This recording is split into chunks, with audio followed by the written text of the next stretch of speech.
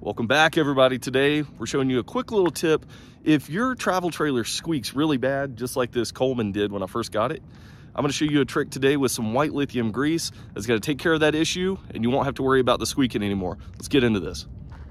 So if you got a travel trailer like this, and every time you pull it around, you're backing it into your camping spot or whatever, and you just hear it squeaking like crazy, this right here is gonna take care of that for the most part.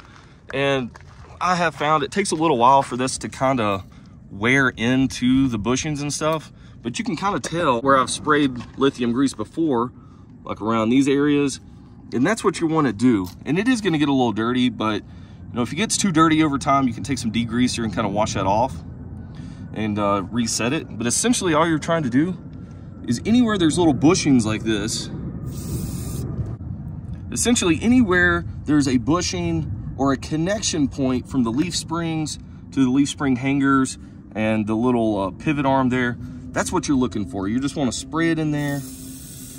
And it does get a little messy unless you just want to be super precise with it.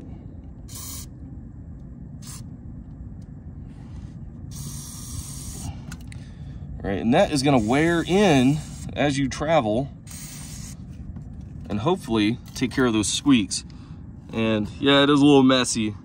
That's one thing you have to contend with. But I swear, over the probably the past 5,000 miles, there is no squeaks on this thing anymore. And if you really wanted to get creative, see where there's two leaf springs or three leaf spring packs, you could spray it. In between those, those get a little squeaky too. Like right in there. Pretty much anywhere there's metal on metal, that's where you're gonna look to try to spray this at. Back here, you can see where sometimes that touches and sometimes it doesn't.